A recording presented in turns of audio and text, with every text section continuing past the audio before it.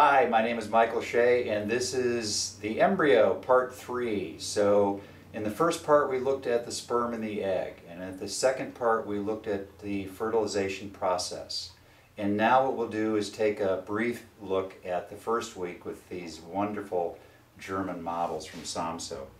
So, this first model uh, that I'm holding up right here, amazing. Let's get it around this way.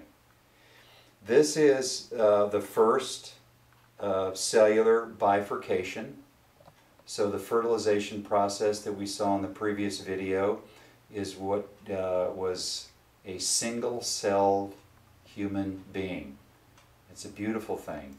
And within 24 hours of fertilization, after we are a single-celled human being for 24 hours, we then bifurcate and we go into this bicellular phase. And all during the first week, what happens is uh, the 1 becomes 2, and then the 2 becomes 4, the 4 becomes 16, the 16 32, and so forth until we get up over 100 cells by the end of the first week. And then we get into um, this beautiful stem cell division uh, that I'll talk about shortly.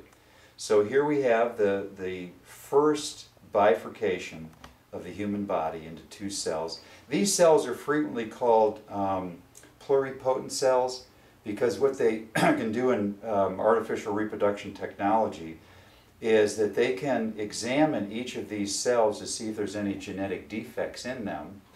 If someone has a history of genetic defects um, in their lineage, in their history, family history, they can then remove the one cell here that does not have the genetic defect and reimplant it.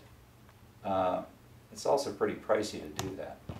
So after we have the uh, four, I'm sorry, after we have two, we have four.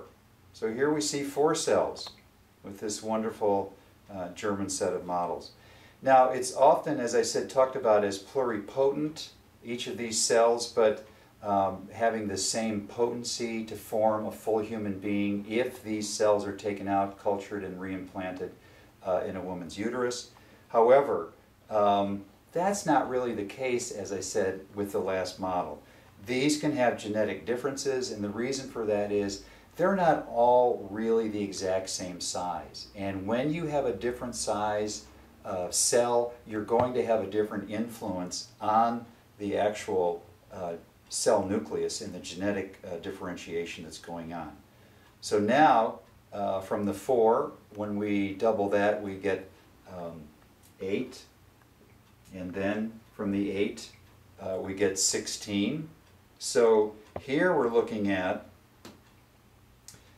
one, two, three, four cells, but I'm going to turn this on its edge and see if we can catch this close up with the camera here. And you can see uh, 4, 8, 12, 16 cells.